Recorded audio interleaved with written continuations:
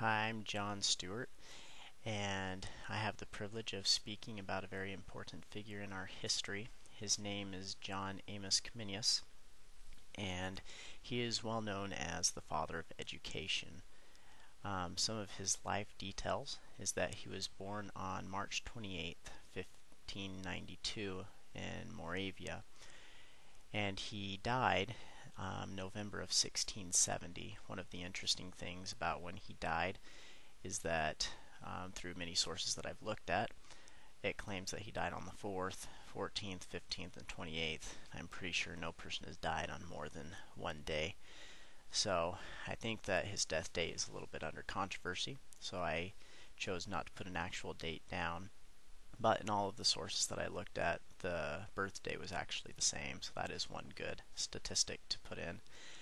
Um, he belonged to a Protestant church called the Unity of the Brethren, and two things that he was very well known for during and after his life is that he was a teacher and a writer.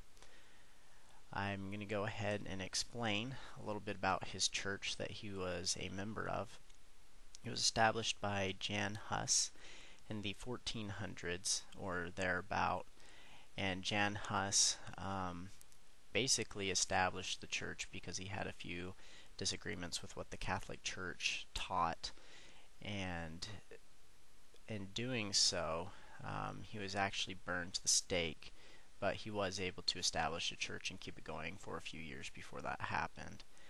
Um, John's parents were actually members um, before he was born, and so essentially he was a member at birth. And later on, John became a bishop of the church. Um, a few more intriguing details about his life is that at age 10, his parents died.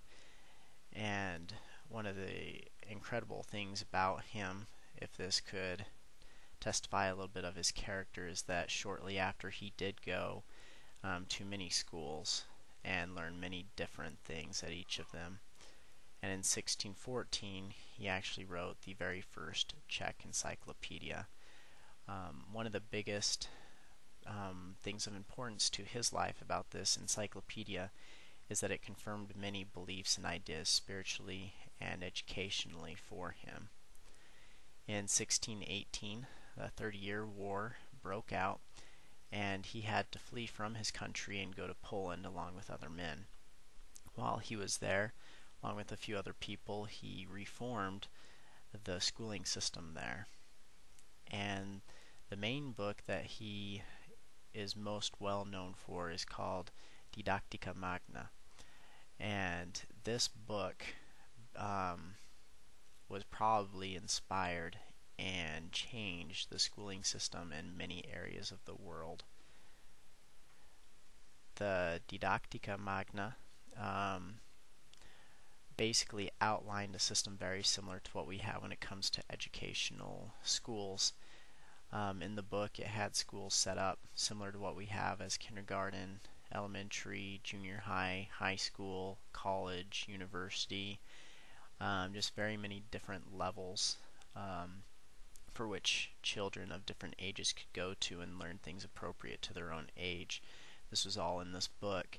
And it also focused on making education universal, which um, at the time wasn't exactly considered because the rich people were the ones who were able to pay for and obtain an education if they desired it. But in his book, he focused on having the poor learning the exact same things as the rich and he also um, wanted both genders to learn um, the same things. And in this book, he, in, he wanted all schools to be teaching essentially the same thing so that there wasn't a contradiction to what was true or false. A few other things that he helped influence when it came to education is that he wrote the very first textbook. And considering that he wrote the very first textbook, shows that a couple centuries later we're still using textbooks in our learning as well as our teaching and this was a very great um, invention if you will um, for our day and age it, due to all of these um, things that John Amos Comenius did do shows that he pretty much was the father of education. However, it wasn't until the early 1900s that people started to recognize his work, at least in America. And I've thought quite a bit actually lately to everything that he did do. And I think it's important that we don't waste his efforts and that we try to do the very best that we can in our own schooling. And this is basically my report on John Amos Comenius. If you have any questions or would like to look up where I got this information, I have it on a PowerPoint as well as a research paper that you'll be able to find online. Thank you.